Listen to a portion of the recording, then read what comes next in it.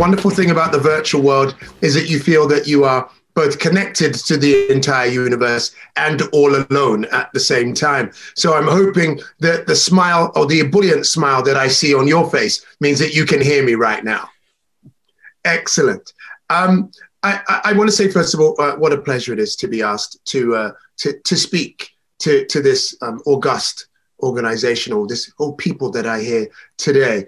Um, you know, often, often when people ask ask me to speak, the first question is always why, um, and and actually Jim answered that by by kind of saying that he sees a link in creativity, purpose, meaning, and culture, you know, and it applies to every aspect of society particularly right now on a morning like this morning, where no matter where you are politically, um, one one either is I don't know keeping their fingers crossed, or one is uh, deeply mindful of of the tricks that that life can throw at us.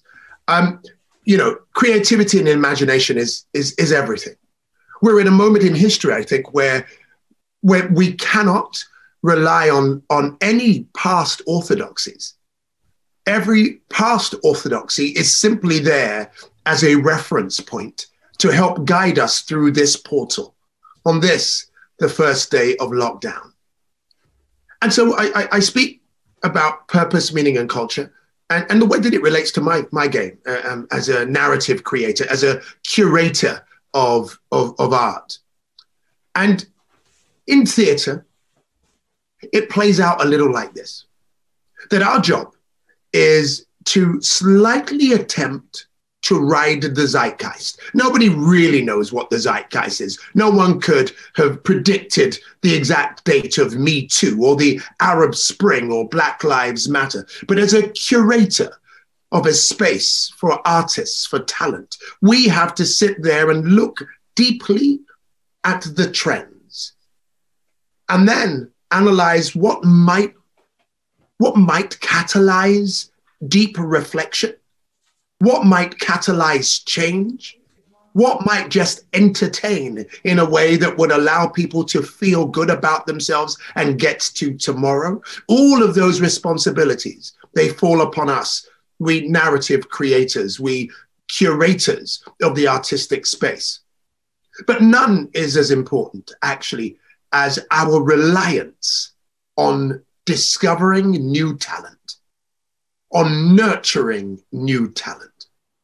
There is a underlying belief structure that just around the corner is the next big star. And I don't mean star in terms of someone that we worship, but I mean the star is in someone whose contribution to our world can serve more than just the review pages of, of our newspapers, that can actually provoke change, but at least reflection.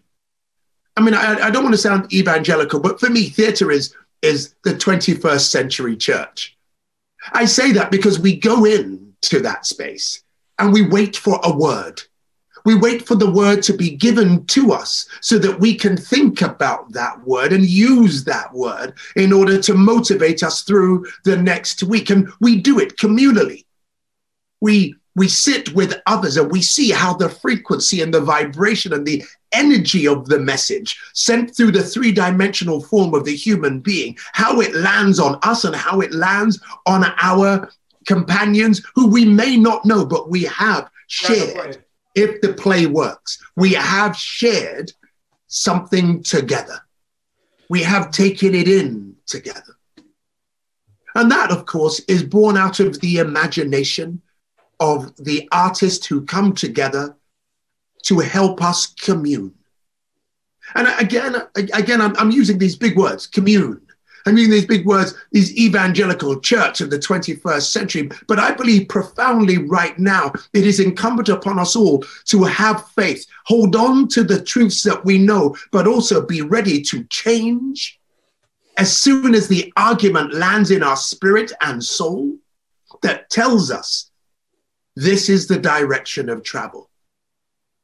The palace of the imagination, I often say, doesn't sit within a theater, but it sits within the mind of those who choose to come into that space and partake with us.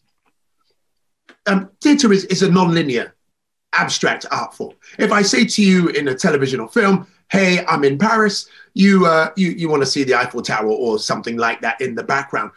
In the black box, in the magic of theater, I simply have to say to you, I'm in Paris, and your mind does the work for me. That is the power of the imagination of the audience. And so I use that to select the work that I think should go before our audiences. I'm, I'm really proud. There was a moment just before lockdown where, and I say this not to self aggrandize, but to say why I think that everything we do is not just about ourselves or our individual sectors, but actually is about society. There was a moment when we had a play on Broadway and we had a play in the West End, Death of a Salesman. And we had a Pulitzer Prize winning play in our main house. And we had a play playing prisons and homeless shelters, touring Southwark and Lambeth, mm-hmm. where we work. And for me, that was my proudest mm-hmm. moment of being an artistic director because it meant that we were serving every demographic that we possibly could. And as I speak to you today, I'm really mindful that one might go, what is the link between theatre and HR? Well, for me, the link is we are serving. We are looking at the potential of everyone and we are trying to explode that potential. We are bringing new energies and new life forms almost into our organizations, not just to revolutionize them, because I don't fully believe in revolution. I believe in sustained and accelerated evolution. That way, it doesn't keep turning on itself, but it keeps growing. My job as an artistic director is to keep bringing in that blood to keep us evolving while holding on to the wisdom and the successes of those who have had experience and can negotiate with our audiences, probably in a more familiar way. And it's the combination of the wisdom of those who have been in our game for a while and the energy and new vision of the young emerging people that I think creates a vibrant sector. And so I would say that to you. I would ask the question to you that I ask to myself every day, which is how, how are you negotiating tomorrow? How are you bringing the right people to the table, sometimes against all orthodoxies. How are you bringing those people? Are you bringing those people into your organizations that can create sustained evolution? And when you bring those people in, how are you looking after them? How are you caring for them? How are you making it so that their voice, their legitimate voice, comes through without them feeling the bandwidth tax of being alone, of being the new, of being possibly from a community that may not have had access to this part of your organization before. I say I am a I'm a hardwired optimist who believes in the power of the human imagination to supersede nearly every circumstance.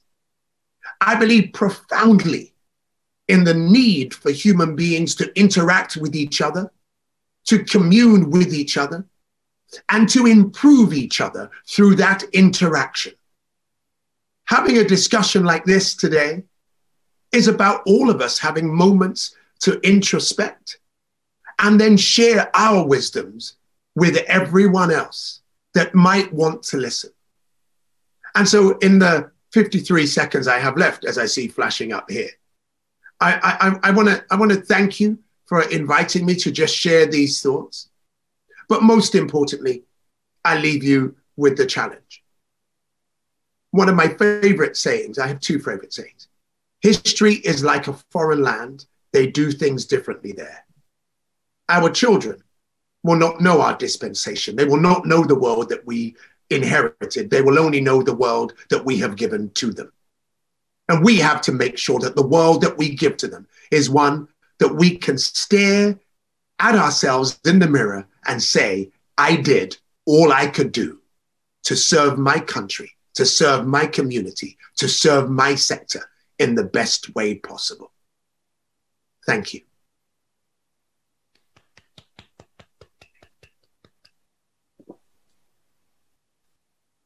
Can't hear you, Tim.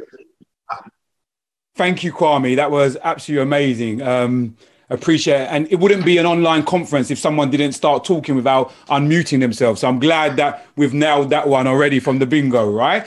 But essentially, I was saying while I was muted, thank you so much for sharing that. And I think in my head, not only have I been transported to my motherland of Jamaica uh, in that foreign land, my first question is actually for you in order to navigate those um, orthodoxies that you talked about as a leader yourself, I'm going to throw the question back to you. How have you ne- negotiated that as one of the first black leaders of a theatre company? How have you done that yourself? Um, I, I, I, think, Tim, I, I, I, seldom ever think about myself in terms of um, of firsts. Uh, uh, though I may have achieved a few of them, um, I, you know, I think glass ceilings are there to, to be broken, and once you've broken them, you don't, you shouldn't look back at Amen. it. Um, but but I, I, I think it's lonely, Tim.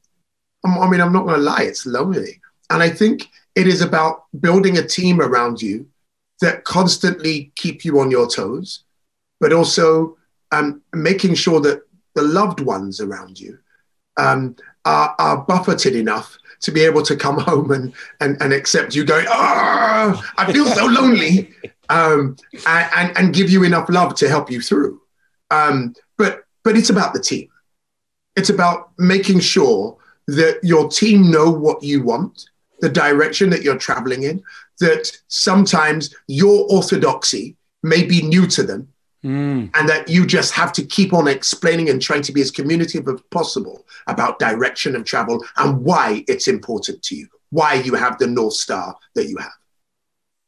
And from a from a personal perspective, you've already mentioned the love of what you do and injecting love into the work that you do. What is your vision, not just for the arts, but I'd love you to touch on that, given the tumultuous times that you've gone through and the vocal speeches you've got about how important the arts is but what is your hope for the change that we need to see within our corporate organizations as a fellow leader? My, my, my hope is that our KPIs um, in the next year and the next two years um, absolutely underline that we heard, we listened, and we acted. That is my hope for this moment. My hope is that um, many people of color across the world right now are going through an, an, going through actually a lot of extra pressure they can see that doors are opening and they're going, but it's going to close. It's on a hinge. It's going to close any minute now. I've Rush. got to get through. I've got to do more work. I've got to get and and I think actually what society can do is prove to people of color that we've heard this time. We are going to find the way to make sure that in five years' time, history is like a foreign land we can't even remember. We don't even know what, how we got here but our offices, that our structures are reflective of our countries and of where we want our country to go and where we want our companies to be, as opposed to where they were. Let's not mm-hmm. hark about yesterday. Let's concentrate on the brilliant new tomorrow that we will create so that our children don't have to have this discussion. And in 20 seconds, are you optimistic about that dawn becoming a reality? I am. I have to be, otherwise, I don't know what I'm doing.